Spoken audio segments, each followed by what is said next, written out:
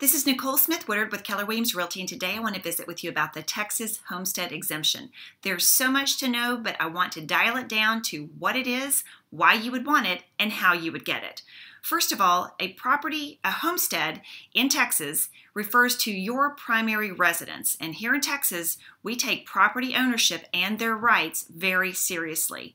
So, why would you want a homestead exemption? Several reasons. One is it's going to save you money. A percentage or a, a dollar amount of your property's value is going to be exempted from property tax. Now, this varies by entity, which includes your city, county, and school district, and each of them have different rules.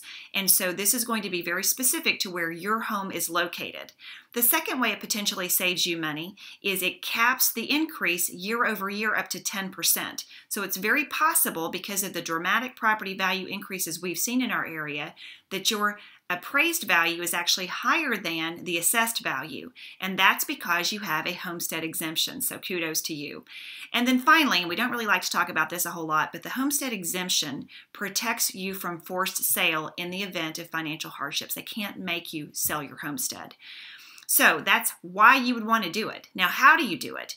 Well, you file between January 1st and April 30th of your the first year that you own your home. And you go to the your county's tax district, go to their website, download the homestead exemption application. You'll want to fill that out and send that in along with the documentation that they're requesting. This homestead exemption stays on this house with you until you sell it or until you, let's just say you buy another home in Texas and then you go to file your homestead exemption on that home. Texas is only, only going to let you have one homestead.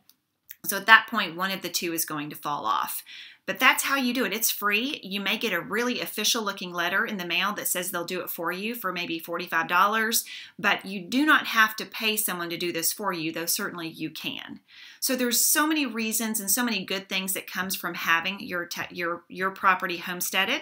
And if you have any questions about this or any other questions about real estate or property taxes, contact me. I'd love to be your resource. My number is 682 472 2473 or go to my website, fantasticdfwhomes.com.